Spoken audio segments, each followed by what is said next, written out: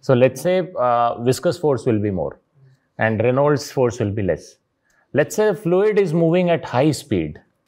Okay. It will have more of uh, like kinetic energy, you can say. Mhm. So would that fluid be behaving or would that be moving in a laminar fashion or the chances of it are more of a turbulent? Sir, uh, just for clarification, the fluid has both more uh, kinetic energy and Fluid is same. Let's say water is there. okay, okay.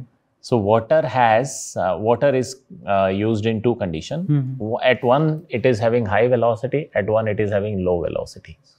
So, in high velocity condition, it is more uh, susceptible to being uh, turbulent, sir. Turbulent.